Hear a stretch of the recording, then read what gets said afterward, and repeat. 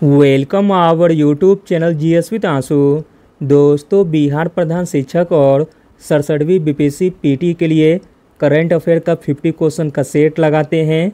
इसमें सारे प्रश्न बहुत ही इम्पोर्टेंट दिए गए हैं, जो आपके एग्ज़ाम में डायरेक्ट आने की पूरी संभावना है। इसलिए वीडियो को लास्ट तक ज़रूर देखें। चलिए शुरू करते हैं।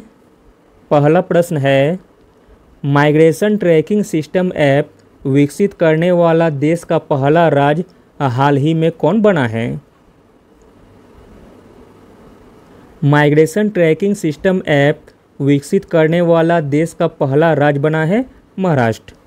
अगला प्रश्न है, स्वदेशी नेविगेशन प्रणाली गगन का उपयोग करके विमान की लैंडिंग कराने वाली देश की पहली एयरलाइन कंपनी कौन बनी है? स्वदेशी नेविगेशन प्रणाली गगन का उपयोग करके विमान की लैंडिंग कराने वाली देश की पहली एयरलाइन कंपनी बन गई है इंडिगो। अगला प्रश्न है, हाल ही में किस राज्य सरकार ने अपनी तरह की पहली जीन बैंक परियोजना को मंजूरी दी है?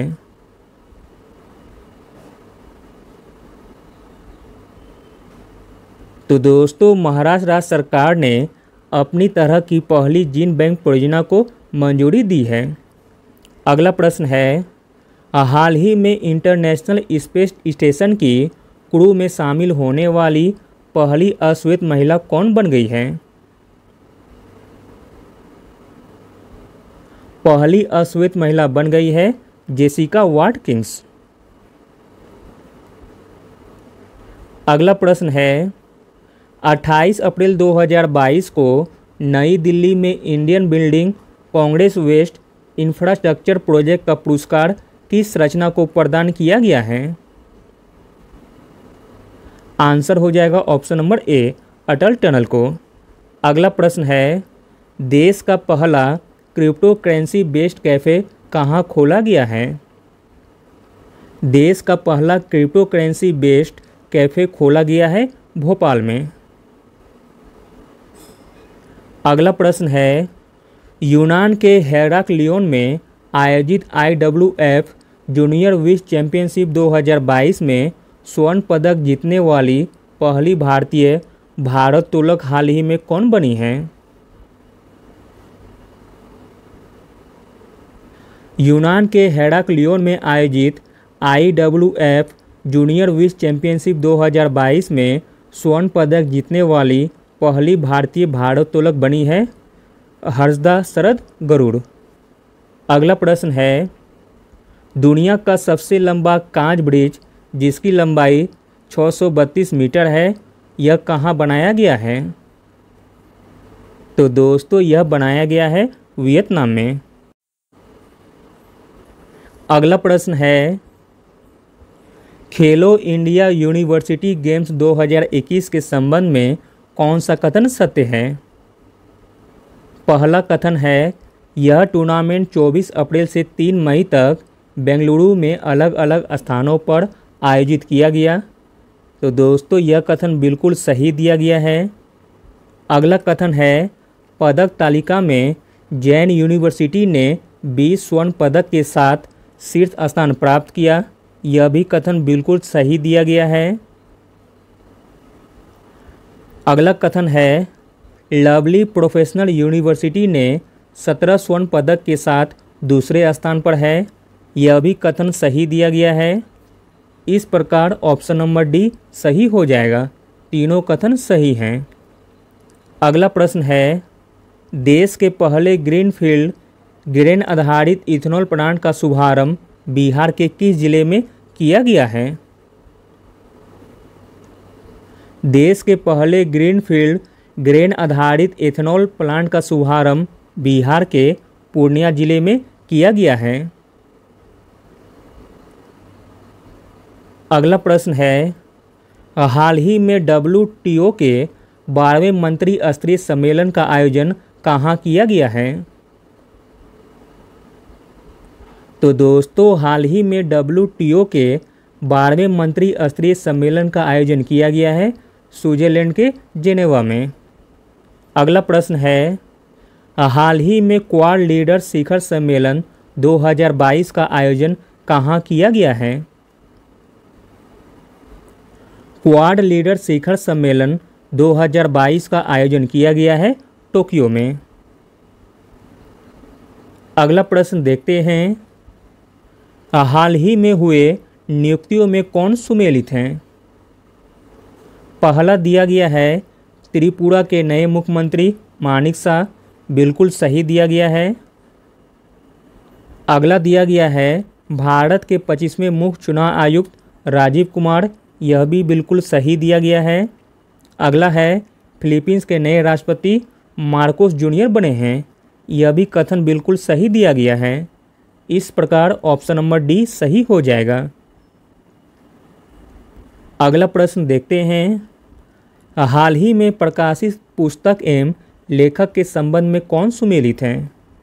एक तरफ़ दिया गया है लेखक का नाम और एक तरफ़ दिया गया है पुस्तक का नाम। राकेश मारिया ने लिखा है, लेट मी से इट नाउ, बिल्कुल सही दिया गया है। अगला है, Rashid Kidwai, leader politician and citizen, यह भी दोस्तों बिल्कुल सही दिया गया है। अगला है Prakash Singh, the struggle for police reform in India. यह भी दोस्तों बिल्कुल सही दिया गया है। इस प्रकार ऑप्शन नंबर डी सही हो जाएगा। अगला प्रश्न है, हाल ही में जारी विश्व प्रेस स्वतंत्रता सूचकांक 2022 के संबंध में कौन सा कथन सत्य है? पहला है, रिपोर्टर विदाउट बॉर्डर संस्था द्वारा यह सूचकांक जारी किया जाता है। बिल्कुल सही बात है। अगला है, इस सूचकांक में नॉर्वे, डेनमार्क एवं स्वीडन क्रमशः पहले, दूसरे व तीसरे स्थान पर है। यह भी बिल्कुल सही दिया गया है। अगला कथन है, इस सूचकांक में भारत की रैंकिंग पिछले साल के एक 142वें स्थान से गिरकर डेढ़ सौवें स्थान पर आ गई है। यह भी बिल्कुल सही दिया गया है। इस प्रकार ऑप्शन नंबर डी सही हो जाएगा। एक, दो तथा तीन तीनों कथन सही हैं। अगला प्रश्न है, हाल ही में प्रारंभ की गई योजना में कौन सुमेलित हैं? पहला दिया गया है, मुख्यमंत्री मितान योजना, छत्तीसगढ़, बिल्कुल सही दिया गया है। अगला है, ई अधिगम योजना, हरियाणा यह भी दोस्तों बिल्कुल सही दिया गया है। अगला है, लाडमी लक्ष्मी योजना 2.0 मध्य प्रदेश, यह भी सही दिया गया है। अगला है, चारा बिजाई योजना हरियाणा, यह भी बिल्कुल सही दिया गया है। इस प्रकार ऑप्शन नंबर ई सही हो जाएगा। अगला प्रश्न देखते हैं। हरियाणा सरकार ने किस खिलाड़ी के नाम पर पानीपत में स्टेडियम बनाने की घोषणा की है। तो दोस्तों, वह खिलाड़ी का नाम है नीरज चोपड़ा। अगला प्रश्न है, कंचनजंगा पर्वत की चढ़ाई करने के बाद 8000 मीटर से ज़्यादा ऊँची पाँच चोटियों को फतह करने वाली पहली भारतीय महिला कौन बन गई है? कंचनजंगा पर्वत की चढ़ाई करने के बाद 8000 मीटर से ज़्यादा ऊँची पाँच चोटियों को फतह करने वाली पहली भारतीय महिला बन गई है प्रियंका मोहिते। अगला प्रश्न है, भारत की पहली आदिवासी स्वास्थ्य वेधशाला बनाने की घोषणा किस राज्य के एसटी और एससी विकास विभाग ने की है? तो दोस्तों राइट आंसर हो जाएगा ऑप्शन नंबर डी, उड़ीसा राज्य सरकार ने। अगला प्रश्न है, कांस फ़िल्म फेस्टिवल के पचहत्तरवें संस्करण में किस देश को कंट्री ऑफ़ ऑनर का दर्जा दिया गया है? कांस फ़िल्म फेस्टिवल के पचहत्तरवें संस्करण में भारत देश को कंट्री ऑफ़ ऑनर का दर्जा दिया गया है। अगला प्रश्न देखते हैं, विश्व खाद्य पुरस्कार फाउंडेशन ने विश्व खाद्य पुरस्कार 2022 से किसे सम्मानित किया है? तो दोस्तों, विश्व खाद्य पुरस्कार 2022 से सम्मानित किया गया है डॉक्टर सिंथिया रोजन वेको अगला प्रश्न है, भारत का पहला फ्लो केमिस्ट्री टेक्नोलॉजी हब कहाँ खोला गया है? भारत का पहला फ्लो केमिस्ट्री टेक्नोलॉजी हब खोला गया है हैदराबाद में। अगला प्रश्न है, ब्राज़ील के केकिसियास डू सूल में हुए चौबीसवें मुख बधिर ओलंपिक के संबंध में कौन सा कथन सत्य है? पहला कथन दिया गया है, भारत ने आठ गोल्ड एक सिल्वर, सात ब्रॉन्ज समेत कुल सोलह मेडल जीते हैं, बिल्कुल सही दिया गया है। अगला है, हरियाणा की दीक्षा डागर ने गोल्फ में स्वर्ण पदक जीता है, बिल्कुल सही दिया गया है। अगला है, सुमित दहिया ने कुश्ती में एम, धनु श्रीकांत ने निशानेबाजी में स्वर्ण पदक जीता है, बिल्कुल सही दिया गया है। इस प्रकार ऑप्शन नंबर डी सही हो जाएगा। तीनों कथन सही हैं। अगला प्रश्न देखते हैं। दूसरे भारत नार्डिक शिखर सम्मेलन 2022 में प्रधानमंत्री नरेंद्र मोदी ने भाग लिया। यह शिखर सम्मेलन कहाँ आयोजित किया गया था? तो दोस्तों, यह शिखर सम्मेलन आयोजित किया गया था डेनमार्क के कोपेनहेगन में।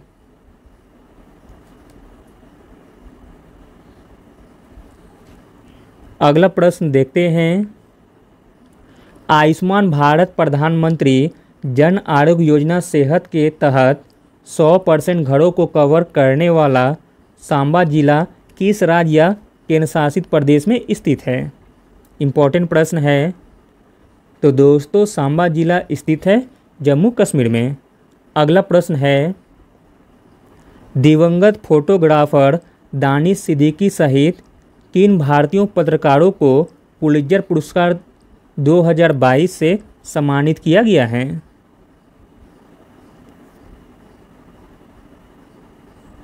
पुलिजर पुरस्कार 2022 से सम्मानित किया गया है। साना इर्दाद मट्टू अमित दुबे जी को तथा अदनान आबिदी जी को। राइट आंसर हो जाएगा ऑप्शन नंबर डी, उपयुक्त सभी को।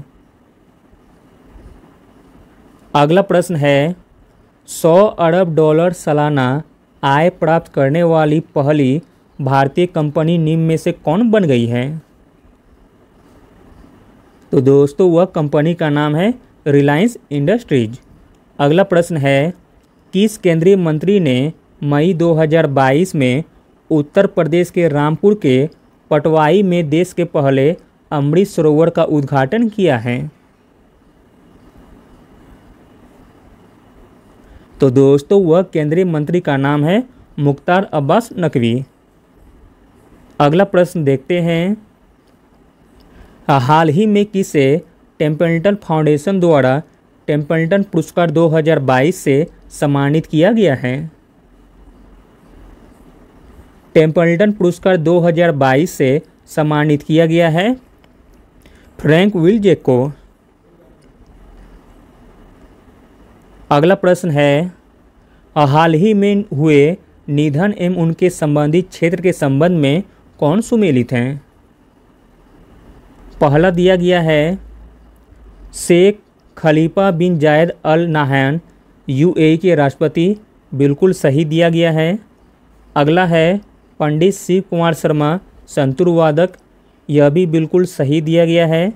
अगला है, Tony Brooks, Formula One driver, यह भी बिल्कुल सही दिया गया है। इस प्रकार ऑप्शन नंबर डी सही हो जाएगा। अगला प्रश्न देखते हैं। बायोगैस से चलने वाले भारत के पहले ईवी चार्जिंग स्टेशन का उद्घाटन किस शहर में किया गया है? बायोगैस से चलने वाले भारत के पहले ईवी चार्जिंग स्टेशन का उद्घाटन किया गया है मुंबई में। अगला प्रश्न है, हाल ही में Spanish football league La Liga 2022 का खिताब किस टीम ने जीता है? ला लीगा 2022 का खिताब जीता है रियल मेडिड टीम ने। अगला प्रश्न है, भारत सरकार के किस मंत्रालय ने दुनिया के सबसे बड़ी फ़िल्म पूर्णाधार परियोजना शुरू की है? भारत सरकार का वह मंत्रालय का नाम है सूचना एवं प्रसारण मंत्रालय, जिसने दुनिया के सबसे बड़ी फ़िल्म पूर्णधार परियोजना शुरू की है। अगला प्रश्न है निम्नलिखित में से किस कंपनी द्वारा भारत का पहला हाइड्रोजन ईंधन पर आधारित पहला स्वदेशी इलेक्ट्रिक पोत का विकास एवं निर्माण किया जाएगा? तो दोस्तों, वह कंपनी का नाम है कोचिन शिपयार्ड लिमिटेड। अगला प्रश्न है, मई 2022 में बंगाल की खाड़ी में आए चक्रवाती तूफ़ान का नाम आसानी किस देश ने रखा है?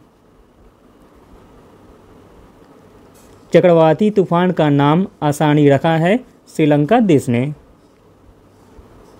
अगला प्रश्न है फाइजर कंपनी ने एशिया के पहले वैश्विक दवा विकास केंद्र की स्थापना भारत के किस शहर में की है? फाइजर कंपनी ने एशिया के पहले वैश्विक दवा विकास केंद्र की स्थापना भारत के चेन्नई शहर में की है। अगला प्रश्न है, किस राज्य में स्थित माघड़ गाँव भारत का पहला शहद वाला गाँव बन गया है। माघर गाँव भारत का पहला शहद वाला गाँव बन गया है, जो स्थित है महाराष्ट्र में। अगला प्रश्न है, वास्तुकला के क्षेत्र में Royal Institute of British Architecture द्वारा रॉयल गोल्ड मेडल 2022 से किसे सम्मानित किया गया है? रॉयल गोल्ड मेडल 2022 से सम्मानित किया गया है बालकृष्ण विठलदास दोषी जी को। अगला प्रश्न है, मई 2022 में राष्ट्रपति रामनाथ कोविंद द्वारा भारतीय सेना के प्रमुख जनरल मनोज पांडे को किस पदक से सम्मानित किया गया है? तो दोस्तों, जनरल मनोज पांडे को सम्मानित किया गया है परम विशिष्ट सेवा पदक से। अगला प्रश्न है हाल ही में किसे विशेष बांग्ला अकादमी पुरस्कार प्रदान किया गया है? विशेष बांग्ला अकादमी पुरस्कार प्रदान किया गया है ममता बनर्जी को। अगला प्रश्न है, भारतीय पुरातत्व सर्वेक्षण द्वारा कहाँ खुदाई के दौरान पाँच हज़ार साल पुरानी आभूषण बनाने वाली फैक्ट्री की खोज की गई है? पाँच हज़ार साल पुरानी आभूषण बनाने वाली फैक्ट्री की खोज की गई है राखीगढ़ी में, जो कि हरियाणा में स्थित है। अगला प्रश्न है, मई 2022 में एप्पल कंपनी को पीछे छोड़कर कौन सी कंपनी दुनिया की सबसे मूल्यवान कंपनी बन गई है? मई 2022 में एप्पल कंपनी को पीछे छोड़कर दुनिया की सबसे मूल्यवान कंपनी बन गई है सऊदी आरामको अगला प्रश्न है, मई 2022 में बैंकॉक, यानी कि थाईलैंड में आयोजित थॉमस कप 2022 का खिताब किस देश ने फाइनल में इंडोनेशिया को तीन ज़ीरो से हराकर पहली बार जीता है? इंडोनेशिया को तीन ज़ीरो से हराकर पहली बार जीता है भारत देश ने। अगला प्रश्न है फोर्ब्स द्वारा मई 2022 में जारी दुनिया के सबसे ज़्यादा कमाई करने वाले खिलाड़ियों की सूची में किस खिलाड़ी ने पहला स्थान हासिल किया है? तो दोस्तों, पहला स्थान हासिल किया है लियोनल मेसी ने। अगला प्रश्न देखते हैं, किस देश को वर्ष 2022-24 के लिए Association of Asian Election Authorities के नए अध्यक्ष के रूप में चुना गया है? तो दोस्तों, भारत देश को वर्ष 2022-24 के लिए Association of Asian Election Authorities के नए अध्यक्ष के रूप में चुना गया है। अगला प्रश्न है, मई 2022 में कर्मचारियों को सुनिश्चित आय प्रदान करने के लिए पुरानी पेंशन योजना की बहाली को अधिसूचित करने वाला पहला राज्य कौन बन गया है? तो दोस्तों, पहला राज्य बन गया है छत्तीसगढ़। अगला प्रश्न है, हाल ही में जारी घोषणा के अनुसार कॉमनवेल्थ गेम्स 2026 से किस खेल को हटा दिया गया है? कॉमनवेल्थ गेम्स 2026 से हटा दिया गया है तीरंदाजी को, कुश्ती को तथा निशानेबाजी को। इसका राइट आंसर हो जाएगा ऑप्शन नंबर डी उपयुक्त सभी को। अगला प्रश्न है, निम्नलिखित में से किस राज्य के प्रसिद्ध संगीत वाद्य यंत्र नरसिंह पेट्टई नागसोड़म को जीआई टैग दिया गया है? तो दोस्तों, तमिल, तमिलनाडु राज्य के प्रसिद्ध संगीत वाद्य यंत्र नरसिंह पेट्टई नागसोड़म को जीआई टैग दिया गया है। अगला प्रश्न है, पहली बार किस टीम ने इंडियन सुपर लीग ट्रॉफी का खिताब जीता है। पहली बार इंडियन सुपर लीग ट्रॉफी का खिताब जीता है, हैदराबाद एफसी ने। अगला और अंतिम प्रश्न देखते हैं। विश्व पैरा एथलेटिक्स ग्रैंड पिक्स 2022 का आयोजन कहाँ किया गया, जिसमें भारत आठवें स्थान पर रहा था? तो दोस्तों विश्व पैरा एथलेटिक्स ग्रैंड पिक्स 2022 का आयोजन किया गया था यूएई के दुबई में। Thank you